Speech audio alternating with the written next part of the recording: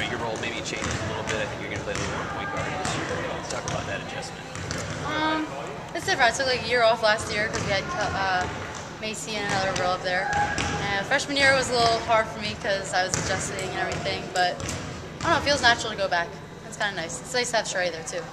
Yeah, and uh, I mean, guard is a little bit of a question mark this year because Ashley's hurt and Kelsey left. So when you talk, can you address that whole guard unit? Like, oh, uh, point guard. Well, I mean, Just guard and shooting guard. Well- Anybody playing guard. I mean, we have a lot of them. We've always had a lot of them.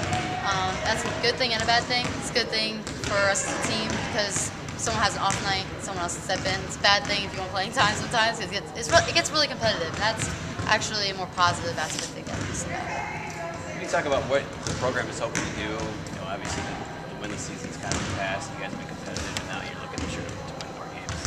Yeah, anything, any loss is not acceptable to me. Um, I mean, I like to be perfect every season, but we learn from losses too, unfortunately. So, um, I plan on winning conference this year. I hope my teammates feel the same. So, anything short of that's not a good season to me. But It's gonna be, it's gonna be difficult to replace like Golden left by. Of course, yeah, it's going to be difficult to face all three of the girls we lost because they each brought something unique to the team.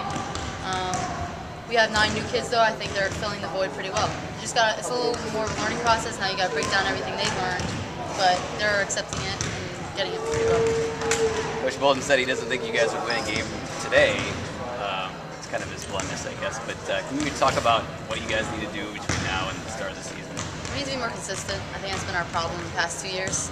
We'll have great games, and then we'll come in and play under 500 teams and not give our all, all-out effort. It kills us. So we play with the effort and shoot at the ball as well as we usually do. We're not gonna have a problem with that. You guys made some improvements last year. So the next step you guys have to. Consistency and win conference. Do you feel like that's realistic? Yes, very realistic.